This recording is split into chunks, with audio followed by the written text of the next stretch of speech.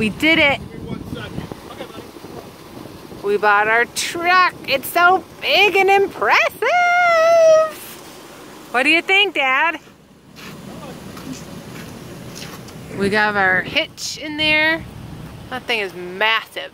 It's like a mini robot. At least that's what it looks like. Oh, don't get over by the car, Amelia. Come on. I'm gonna get run over.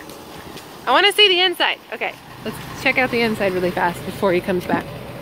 You can program up to five devices in here, so my phone will be one of them.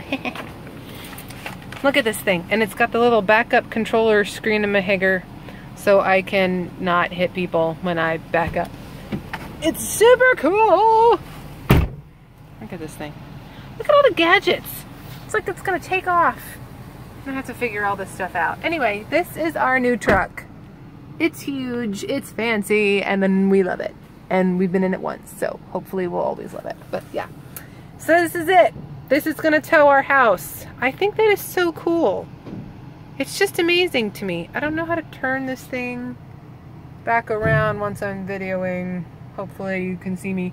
But it's gonna tow our house and we're really, really excited.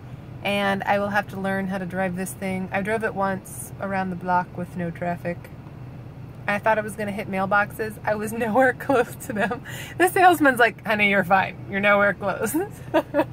and uh, yeah, that's kind of my life there. Anyway, look at them having fun, looking at the truck. Michael's so happy. I'm happy for him. It's a big thing. It's a big, big deal. All right, well, that's it for now. This is our new truck for our new house, which we will get very soon. Bye, guys.